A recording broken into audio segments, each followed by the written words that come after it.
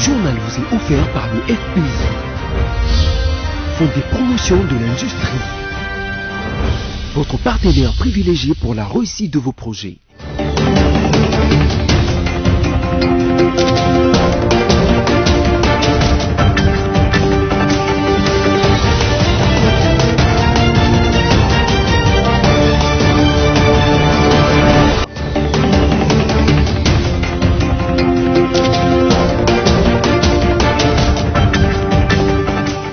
Bienvenue à tous à cette édition rétrospective dont voici le sommaire. Monseigneur Tarsis Chibangu Chichiku a été élevé à titre posthume au rang de grand cordon dans l'ordre des héros nationaux Kabila Lumumba par le chef de l'État Félix Antoine Tshisekedi Chilombo. Et puis Jimmy Kitenge, Jean-Serge Tibin et Aristote Garimbe ont été désignés comme de nouveaux ambassadeurs de la cellule de communication du PPRD par Emmanuel Ramazani Chadari. Les travaux de réhabilitation de l'avenue Victoire dans son tronçon compris entre la place des artistes et l'avenue de l'université tournent au ralenti et cela ne rend pas la vie facile aux usagers de cette route.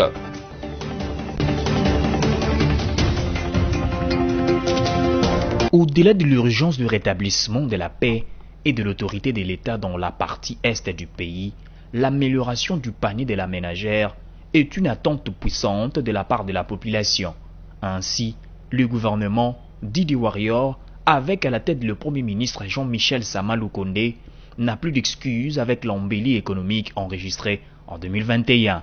La réunion du comité de conjoncture économique a passé en revue la situation économique du pays et note une amélioration sensible des indicateurs macroéconomiques, mais qui doit être traduit dans les vécus quotidiens de la population, a indiqué le ministre d'État au plan, Christian Mwando, qui a fait le compte-rendu.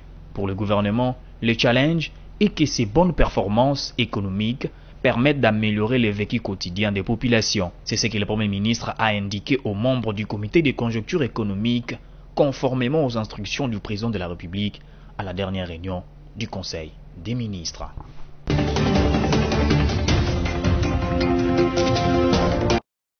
C'est dans cette optique que le Premier ministre Jean-Michel Samaloukonde a effectué dans la matinée une visite sur les sites où s'effectuent les travaux de construction de la nouvelle usine, des captages et des pompages d'eau entrepris par la régie des eaux à Lembaïmbou, dans la commune de Mungafula. L'objet de sa visite était de s'assurer de leur bon déroulement. Nous sommes là dans un secteur euh, social dans lequel, euh, pour cette année, nous avons reçu des instructions claires de Son Excellence Monsieur le Président de la République. Nous sommes avec euh, le ministre des Ressources hydrauliques ainsi que toute l'équipe de la Régie des eaux pour nous assurer de l'avancement des travaux ici au site Lembaimbu et nous assurer également que la desserte en eau qui viendra de ces installations pourra se faire le plus rapidement possible. Euh, nous avons constaté que les travaux sont bien avancés, que d'autres phases restent, mais dans le cas de la première phase, euh, euh, d'ici trois mois, nous pourrons avoir l'électrification du site et ça devrait permettre de faire les premiers essais. Nous, nous allons rester derrière les équipes pour pousser, bien sûr, pour que les choses se fassent le plus rapidement possible et que tous les moyens soient mis à disposition. Euh, de sorte à permettre à cette partie de la zone de, Kinshasa de bénéficier de, de, cette eau euh, qui a tant été attendue. Pour sa part, le ministre des Ressources hydrauliques a fait savoir que les équipes sont à pied d'œuvre pour donner de l'eau potable à ces populations. Nous sommes vraiment, vraiment à pied d'œuvre pour euh, donner de l'eau potable à notre population. Et, aujourd'hui, je suis ravi, après ma visite euh, du, mois de, au mois de juillet, de voir que le, site de, de Limbaimbu a beaucoup, beaucoup progressé. Et donc, euh, on a eu un petit retard avec la construction du réservoir, mais il y a une, autre solution qui, est proposée, c'est un, bypass qui va nous permettre d'approvisionner la population euh, en eau potable très rapidement sans attendre la fin des travaux du, réservoir. Après avoir communié avec la population quinoise de cette partie de la ville, le Premier ministre s'est rendu compte de l'état de délabrement des infrastructures routières de Lemba Imbu, en général et de la route Secomaf en particulier.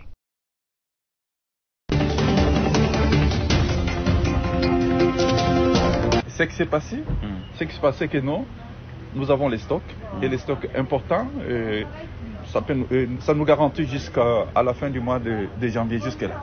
Mais il y a des gens qui passent dans des chambres froides et ils disent qu'ils ne trouvent pas grand-chose. Bon, euh, il y a des gens de mauvaise foi, il faut le savoir, mais le stock est là. Nous avons dit que nous, avons, nous, avons, nous devons respecter la chaîne euh, de distribution, donc importateurs, distributeurs et détaillants. Et nous sommes en train de, respe- de respecter ça. Ce n'est pas au gouvernement d'aller déposer la marchandise au niveau des, détaillants. Donc il y a une chaîne de distribution que nous devons respecter et c'est ce que nous sommes en train de faire. Nous avons opté pour la diversification de l'économie et nous devons atteindre cet objectif-là.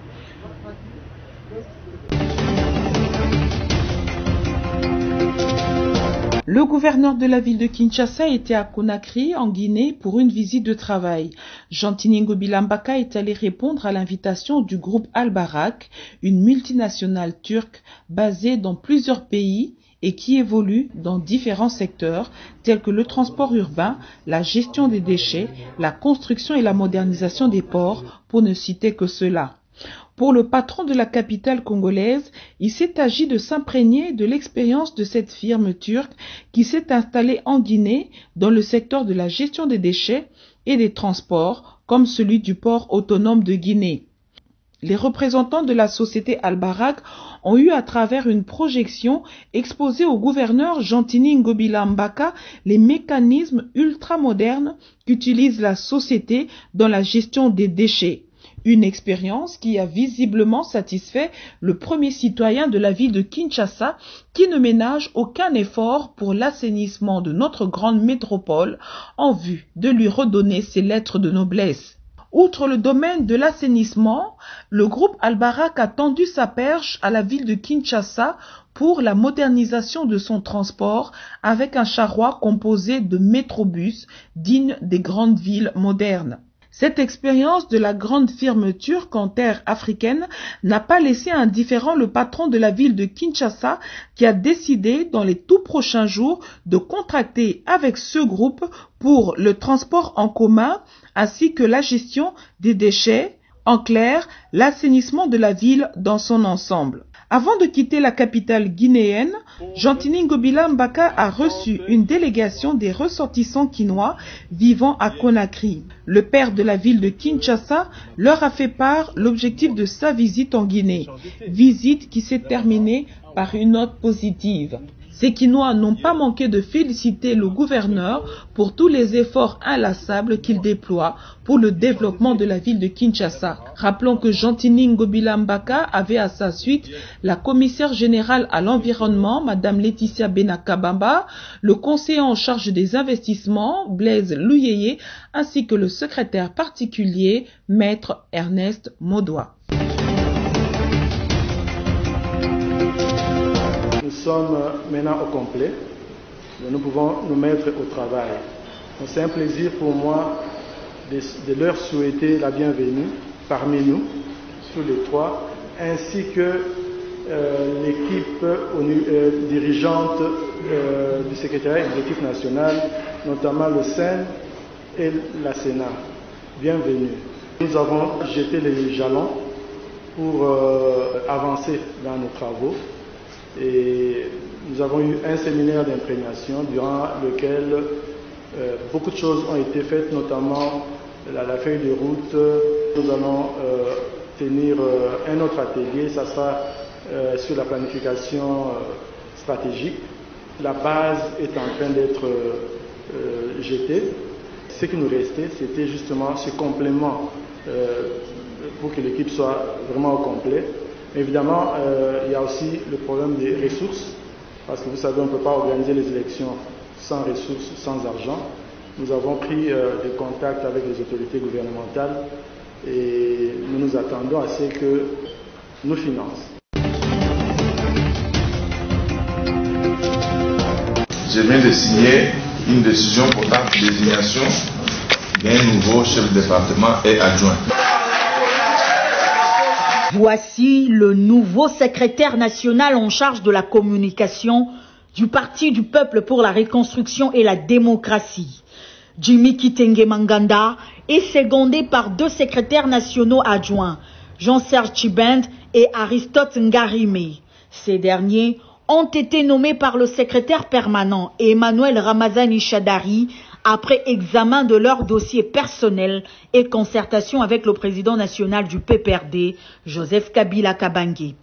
Le nouveau secrétaire national du PPRD en charge de la communication et ses adjoints remplace à ce poste le député national François Nzekouye, appelé à exercer sous mandat du PPRD d'autres fonctions à l'Assemblée nationale ayant fait preuve de fidélité de loyauté à l'autorité morale du Front commun pour le Congo, Jimmy Kitenge, Jean-Serge Tiband et Aristote Ngarime sont appelés à une communication très efficace du PPRD, surtout en cette période de préparation des élections de 2023.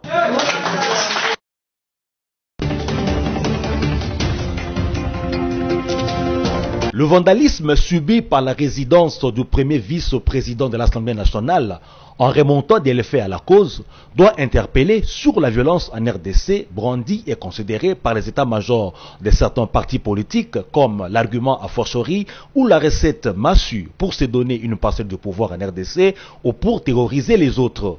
Il y a des partis politiques en RDC, hier comme aujourd'hui, qui se font un point d'honneur à exhiber la violence de ses membres ou de ses méthodes pour atteindre ou obtenir certains résultats politiques. Ils en sont même très fiers et en parlent comme s'ils en avaient le monopole. L'ivresse d'une certaine faveur ou d'une certaine position avantageuse peut conduire quelqu'un à se croire pas comme les autres. À côté de cette vérité, il y a aussi celle qui veut que l'appui occidental ne doit pas pousser les Congolais qui en jouissent à se croire tout permis dans le pays de Lumumba. Quel est donc ce Congolais qui ne sait pas que si une partie emploie la violence et que l'autre partie y répond par la violence, il y aura guerre, civile ou pas, en RDC, en conséquence incalculable. En cas d'escalade des violences, qui doit-on condamner? Celui qui l'a commencé ou celui qui répond à la violence par la violence?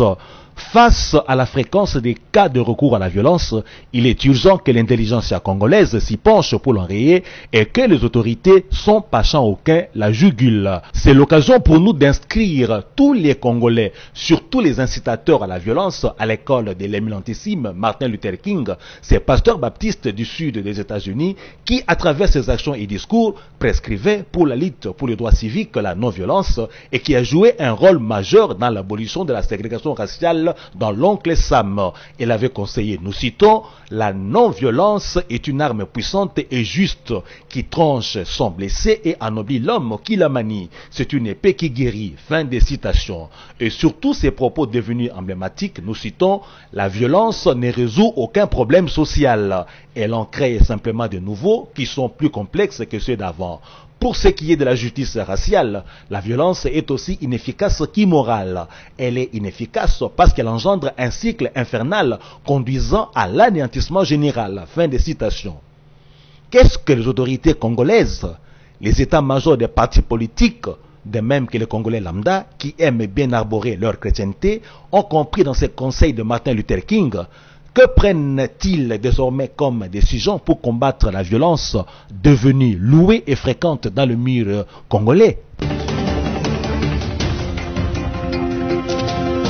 La vice-ministre de la Défense, Madame Séraphine Kiloubu Koutouna, a, au nom du ministre de la Défense nationale et des anciens combattants, ouvert ce jeudi 13 janvier 2022 le séminaire régional marquant le début des instructions de la cinquième session spéciale du Collège de hautes études des stratégies et de défense TIESD à l'amphithéâtre Tchandjou de ce haut établissement militaire. Ce séminaire de deux jours sous les thèmes politique de défense et coopération régionale en Afrique centrale. Dans son mot d'ouverture, Madame Séraphine Kiloubu a indiqué que cette session s'ouvre à un moment particulier où la RDC fait face à une insécurité persistante. Elle a par ailleurs invité les hauts cadres civils auditeurs de cette session à approfondir leurs connaissances sur la politique de défense et la coopération régionale et de faire montre d'excellence avant de déclarer ouvert ce séminaire. Toute estime est pour moi d'être parmi vous ces jours et d'être celle par devers qui les gants de démarrage de cette cinquième session spéciale du TED va sonner.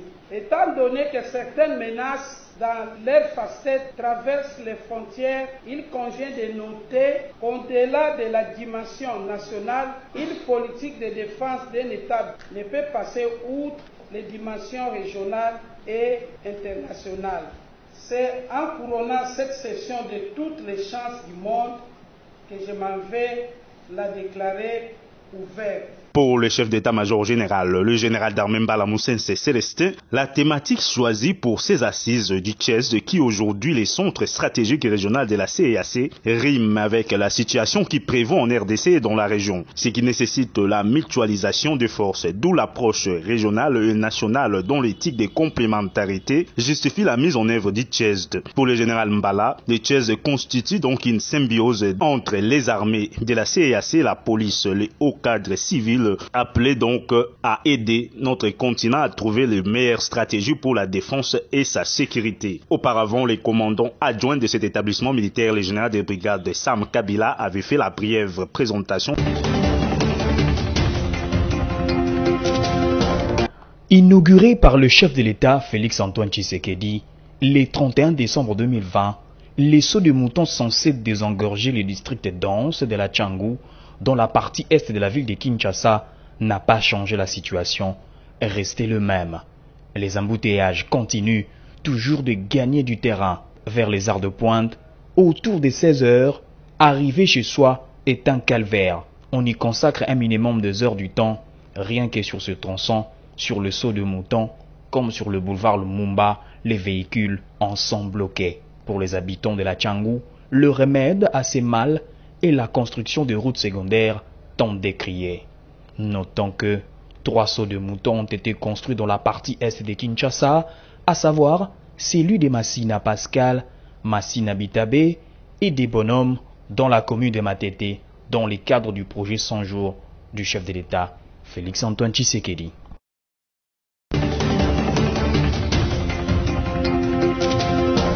Je ne sais pas quand est-ce que j'ai quitté le parti. Vous savez, euh, moi je suis un des membres fondateurs. Le parti est les fruits de mes entrailles. Je n'ai jamais quitté. Je ne sais pas euh, d'où vous tirez ça. Je suis un des membres euh, fondateurs d'Ensemble pour euh, la République. Je suis le coordonnateur de la ville-province de Kinshasa. Et aujourd'hui, il y a encore une autre nomination qui vient de tomber. Je fais partie de cette cellule qui doit aller implanter les partis partout. Et sans oublier que je suis le porte-parole adjoint de Moïse Katumbi, qui est le président d'Ensemble pour la République. Il n'y a aucun problème. Je suis là et je n'ai jamais fait une telle déclaration. Je sais que dans les réseaux sociaux, il y a beaucoup de choses qui circulent, mais vous savez, si on doit suivre tout ce qui se passe dans les réseaux sociaux, je ne sais pas. Moi, je tiens simplement à signaler aux uns aux autres, euh, euh, Francis Calombo communique à travers son compte Twitter qui est connu, où il fait des vidéos, où il fait des interviews. Lorsque vous voyez des interviews, des vidéos sans tête, sans quoi que ce soit, ou les interprétations des uns et des autres, ça n'engage que ceux-là qui les disent, ça ne m'engage pas. Moi, quand je vais communiquer, je communique. La preuve, il fallait communiquer, je suis là, ici je suis à Lubumbashi, et je communique. Le reste, ça reste d'hommes et de femmes animés de mauvaise foi qui peuvent faire ce qu'ils ont envie de faire. Qu'est-ce qui est caché derrière? Ça est de vous dire ce qui est caché derrière. Mais moi, je suis là, je n'ai aucun problème. Les jours où j'ai quitté, si je veux quitter quelque chose, je l'annoncerai. Mais je vous dis que le, je suis le fruit de mes entrailles, je suis dans l'ensemble et je n'ai aucun problème.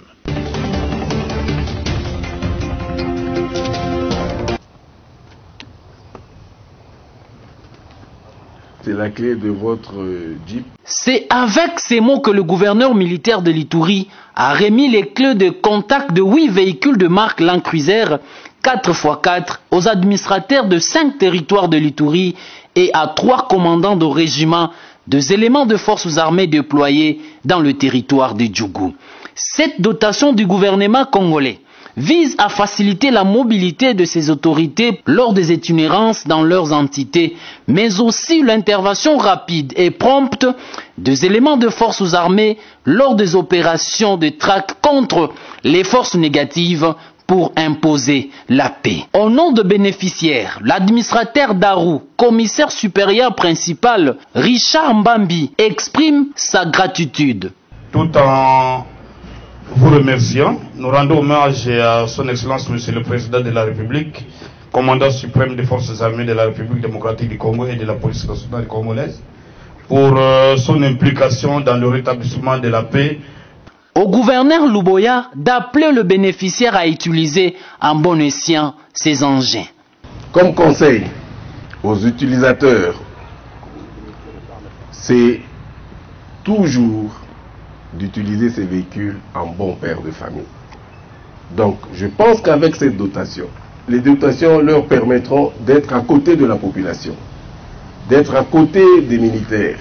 Il y a quelques mois, plusieurs motos ont été remises à la mairie de la ville par le gouverneur militaire de l'Itourie. Le lieutenant général Luboya Kanchamadjoni pour le main mobile, preuve de son engagement à équiper progressivement les différentes entités territoriales décentralisées de moyens de locomotion, question de leur permettre d'exécuter sans faille leur mission pour le bien-être de la population en cette période de l'état de siège tel que voulu par le commandant suprême des forces armées et de la police nationale congolaise, Félix Tshisekedi Chilombo.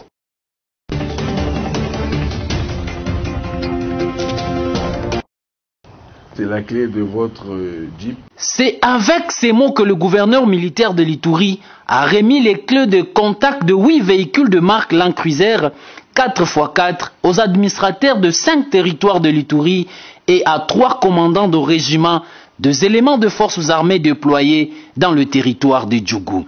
Cette dotation du gouvernement congolais vise à faciliter la mobilité de ces autorités lors des itinérances dans leurs entités, mais aussi l'intervention rapide et prompte des éléments de forces armées lors des opérations de traque contre les forces négatives pour imposer la paix. Au nom de bénéficiaires, l'administrateur Darou, commissaire supérieur principal Richard Mbambi, exprime sa gratitude. Tout vous remerciant. Nous rendons hommage à son Excellence, Monsieur le Président de la République, commandant suprême des forces armées de la République démocratique du Congo et de la police nationale congolaise, pour euh, son implication dans le rétablissement de la paix. Au gouverneur Louboya d'appeler le bénéficiaire à utiliser en bon escient ces engins. Comme conseil aux utilisateurs, c'est toujours d'utiliser ces véhicules en bon père de famille. Donc, je pense qu'avec cette dotation, les dotations leur permettront d'être à côté de la population, d'être à côté des militaires. Il y a quelques mois, plusieurs motos ont été remises à la mairie de la ville par le gouverneur militaire de l'Itourie. Le lieutenant général Luboya Kanchamadjoni pour le main mobile, preuve de son engagement à équiper progressivement les différentes entités territoriales décentralisées de moyens de locomotion, question de leur permettre d'exécuter sans faille leur mission pour le bien-être de la population en cette période de l'état de siège tel que voulu par le commandant suprême des forces armées et de la police nationale congolaise, Félix Tshisekedi Chilombo.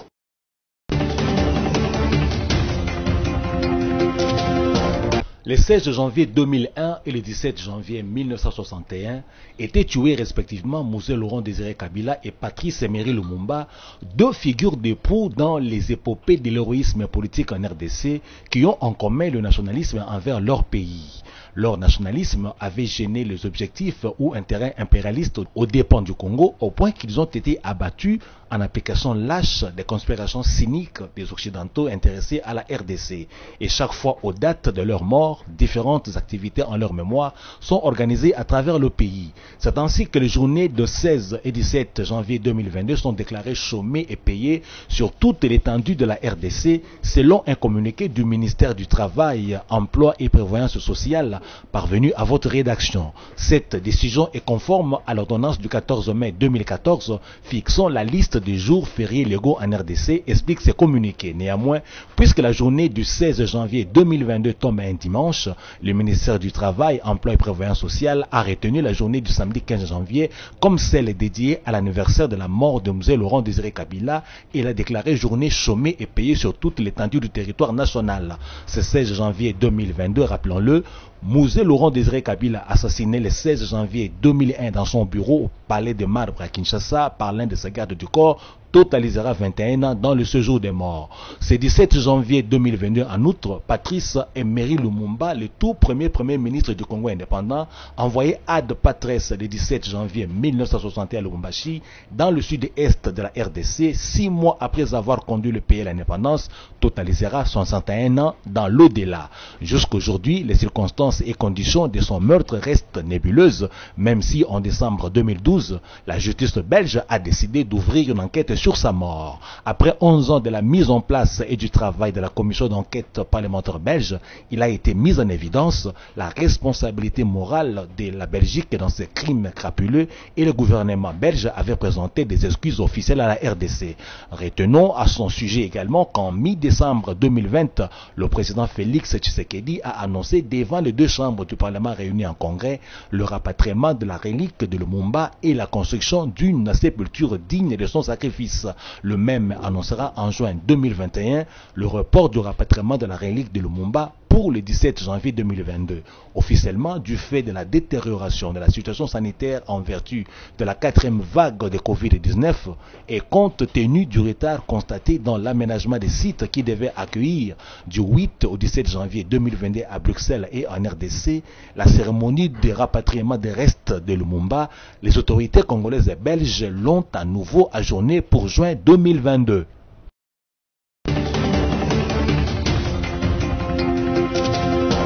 C'est devenu un véritable casse-tête pour ceux qui empruntent l'avenue Victoire dans son tronçon compris entre la place des artistes et l'avenue de l'université. Les travaux de réhabilitation de cet axe routier tournent au ralenti et la population fait face à de grandes difficultés pour passer de ce côté, surtout lorsqu'il pleut. Au micro de votre rédaction, certains qui nous ont trouvés sur place n'ont pas hésité d'exprimer leur mécontentement vis-à-vis de cette situation et ils en appellent à l'implication rapide des autorités compétentes. observation na biso na batravaux oyo ezosalama awa mpo na nga vraiment namoni eza négatif. Eza négatif mpo bilan oyo bapesaki biso mpona batravaux oyo. Namoni déjà ke eza déjà ya korate mpo ti toza na bamoma oyo eloko moko ya bien ezosalama te. Ngai naza chauffeur nazomona juske la mosala elali mpo. Lelo oyo mituka awa elekaka lisusu te. D'abord eza eza route principale oyo eza ke tolekaka tout moment. Tokomi komona neti biso bachauffeur tokomi kosouffrir tokomi kodebouye banzela bon d'abord ezosala biso mpasi par rapport ya freinage ya misala pendant ce temps oyo ya bilan bapesaki tomoni bilan yango bon. Eza presque respecté te. Celui-ci par contre pense que si on veut avoir de routes en bonne qualité, il faut faire preuve de patience. bango bazosala mosala malgré lentement mais bazosala mosala bazosala mosala très bien malgré lentement. Mais bazosala mosala Lancé depuis l'année dernière pour une durée de six mois, ce travaux réalisé par l'entreprise JMC RDC traînent encore et rendent ainsi difficile la circulation des personnes et des véhicules.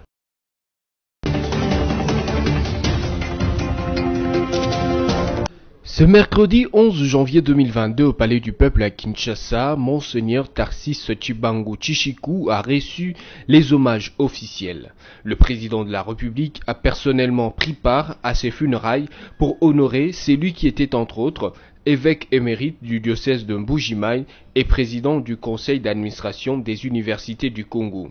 La cérémonie funèbre de ce jour a également connu la participation des présidents de deux chambres du Parlement, du Premier ministre, des nonces apostoliques, des députés et sénateurs, ministres et autres personnalités.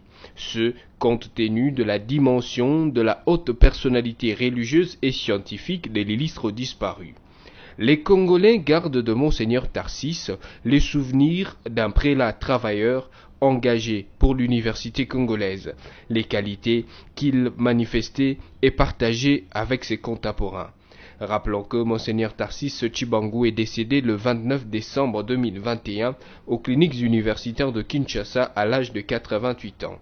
Son inhumation est prévue dans l'intimité familiale mercredi 12 janvier 2022 à la paroisse universitaire Notre-Dame de Sage.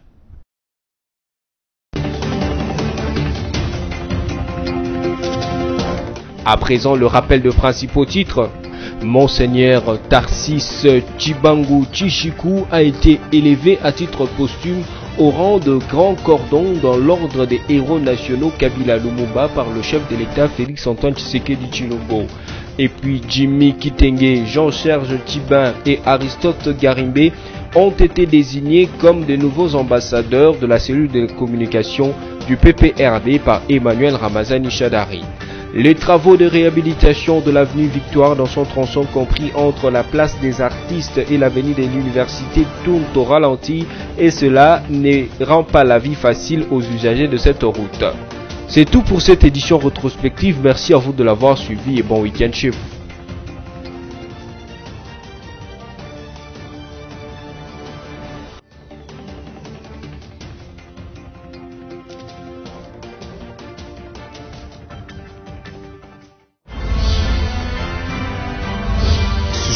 Vous a été offert par le FPI. Fonds des promotions de l'industrie. Votre partenaire privilégié pour la réussite de vos projets.